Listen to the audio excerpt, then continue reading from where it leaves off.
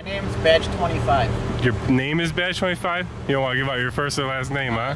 Why aren't you guys wearing any cameras? Town's too cheap to buy them for us. That's what it is. Yeah, it's a money issue, I guess. Sure. You'd think that some of these squad cars would even have a dash cam for your protection, you know? I wish that was the case. I do too. Too cheap to buy them, bud. Sorry. I'll have to talk to the town for you for that. My point is for officer safety that, you know, in 2023, you know, dash cams on the squad cars is kind of unacceptable.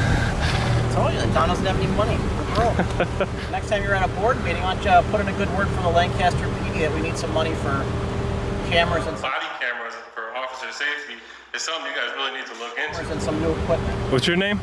My name's Badge 25. No body cameras, no dash cams, no names. That's it. That's gang activity right there, 101. Gang, yeah. Ah, maybe.